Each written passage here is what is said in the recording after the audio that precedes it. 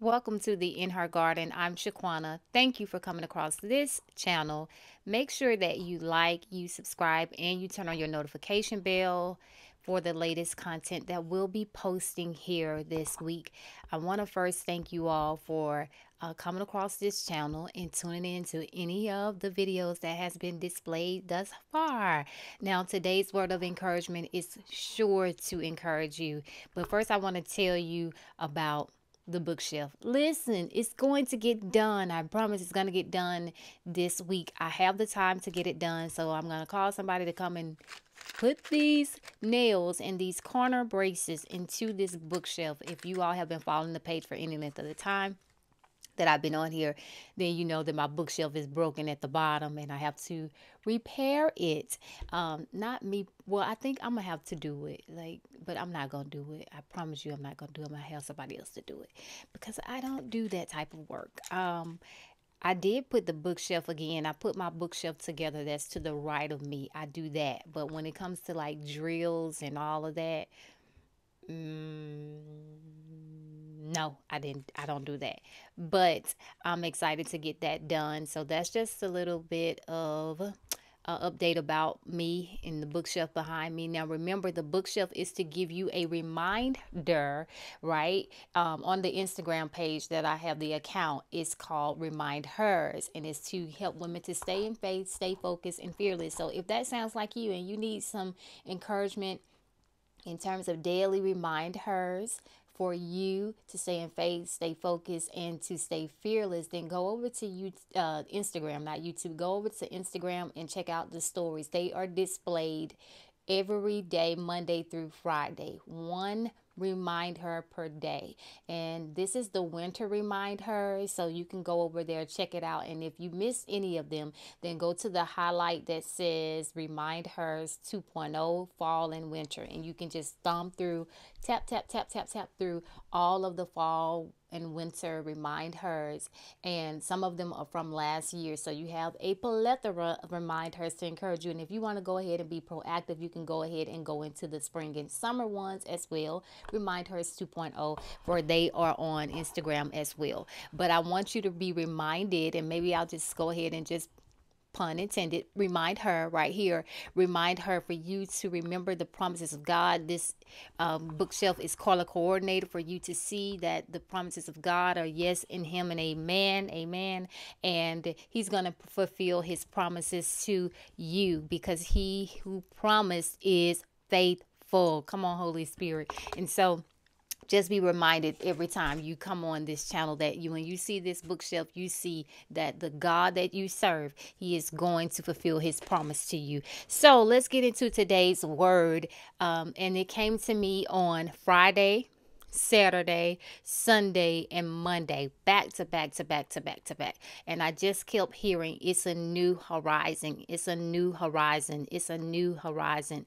And even today, just meditating on the word, uh, the thought that he gave me, it's a new horizon. He said, broaden your horizon, broaden your horizons. And so this is for you all as well. And when I was thinking about what he was saying, pondering it, meditating on it, or just reflecting for him to just give me more, right? What do you mean, you know, it's a new horizon? I get it for me. I understand it for me. But for you all, what do you want me to tell them? And he said to broaden your horizon. And he began to release the word. And if you know me, then you know I'm going to the word.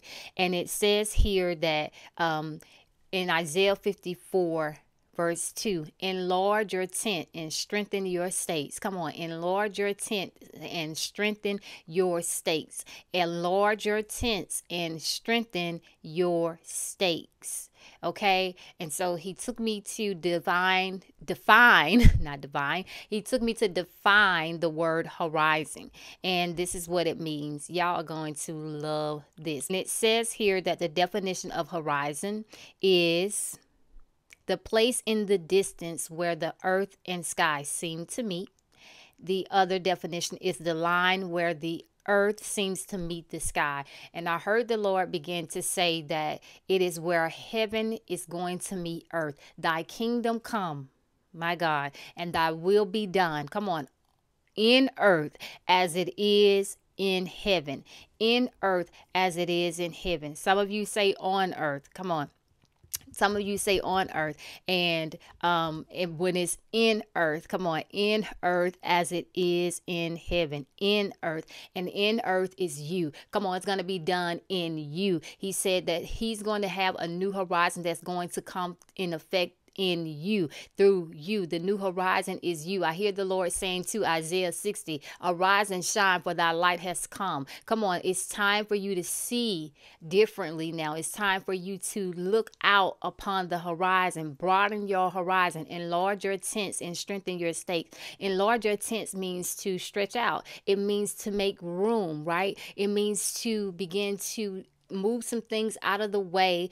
Y'all, spring is coming. I hear this, I'm going to say this. Spring is coming, and a lot of people begin to uh, start cleaning out their closets and cleaning out their uh, pantries and cleaning out their garages and dusting and sweeping and mopping and shining and all that type of stuff within their homes.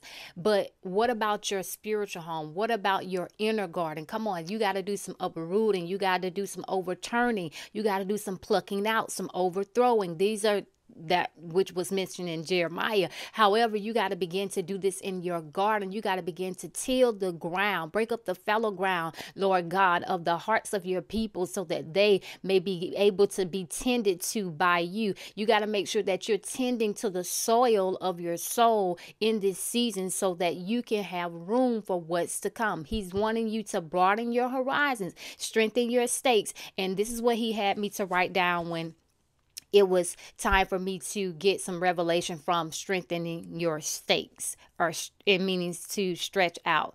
And let me make sure that i'm saying everything that the lord has me to say okay? There's no other definition okay? So again thy kingdom come thy will be done in earth in you as it is in heaven. He's broadening your horizon. He's want he wants you to broaden your horizon. And a lot of times when people hear that cliche it means to mm, travel, if you will, but not necessarily physically. He wants you to do this mentally. He wants you to do this uh, spiritually. Okay, that which is seen is temporal, but that which is unseen is eternal. So this is an eternal outlook that you have. My God, this is an eternal outlook that you have. So it I wrote here that when you begin to strengthen your stakes, when you begin to stretch out, you are not just broadening your horizons to go somewhere physically, if you will, but this is for you to make room. This is for you to acquire knowledge in your mind, in your mind. And sometimes that means reading the books, listening to the podcast, going on it and watching the videos. That means you enrolling in those courses, in those classes, you registering for the workshops, for the seminars. Uh, it means for you to practice the skills, talents, and gifts that God has given you. Put it to practice. Don't just let it waste and go to ways. Don't just let it sit there. Go ahead and finish the work that He has begun in you. My God, He who has promise is faithful and he that began that good work in you he is faithful to complete it until the day of jesus christ. He is going to complete the work in you. So just begin to practice the skills practice the knowledge practice the uh, the apply the knowledge and the and begin to practice the talents the gifts that god has given you. So you want to begin to learn about the industry related topics that he has given you to begin to research. Some of you have put down the goals. I i remember doing this as well and god said pick it back up up, revise those goals because I'm not done with that. You understand? So you need to get your goals back. Go get your goals back that you wrote down last year. He's revising them, he's pivoting them, right? But he's still going to do them. That deadline or the, the accomplishment, the outcome, he's going to do it for you. He said um, to begin to uh, practice um, and learn about your divine purpose, the divine purpose that you have, the divine calling and the assignment. Acquire the knowledge first. That's how you strengthen your stakes. Um, I forget who said it first or originally, but I heard this woman of God say, and um, she mentioned that your feet cannot go where your mind has not been. Your feet will never go where your mind has not been. This has to be conceived in your spirit first, conceived in the mind first. Okay? So you got to begin to learn about your divine purpose. If you have no clue what that is, you need to begin to seek him where he where why he may be found. Seek him for your divine purpose or the purpose that he has for you, right? The plans and thoughts that he thinks towards you. You need to begin to do that if you are unclear about that and you need clarity. Okay? He says to begin to acquire the knowledge about the divine purpose, calling, and assignment that He has for your life so that you won't be unaware about these things. And you want to begin to strengthen your stakes in the in the realm of your connections, right? Your connections. Align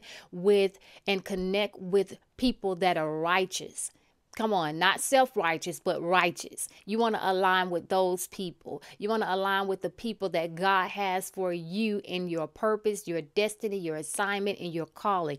Don't align with self righteous people. Align with the righteous people. Come on, the righteous people and those circles. Um, he wants you to revisit your goals again because according to Proverbs, he says that when you commit your works and your plans to the Lord, he will cause them to succeed. And that sometimes for us we think oh he gonna do everything that we're saying how we're going to go about it. Not necessarily so. That's why you got to commit it to him. You got to submit it to him. You got to commit it to him and say god this is your work. God this is your these are your plans. And whatever you want to change whatever you want to do in these plans you get to, right? You get to because you are the CEO of my life. Come on, you are the promoter of my life. And so that's what you have to do when you are writing out plans and goals. You have to commit them unto Him, okay? Give them back to Him so that He can oversee them, right? And give you direction, give you clarity, give you insight, give you knowledge about it and understanding. He says to embrace the pivots when they come.